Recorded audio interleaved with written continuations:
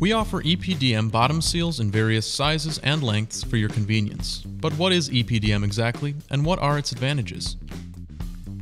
EPDM stands for ethylene propylene diene monomer rubber.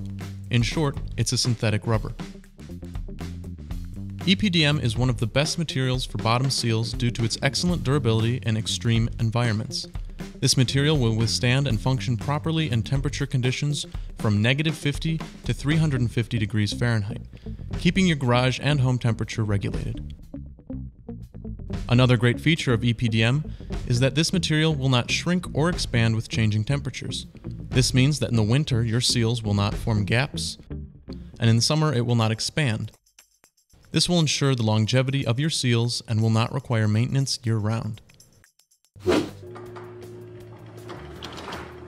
Thank you for watching this video from NorthshoreCommercialDoor.com. Please subscribe to our channel so we can continue to make content like this. Thank you.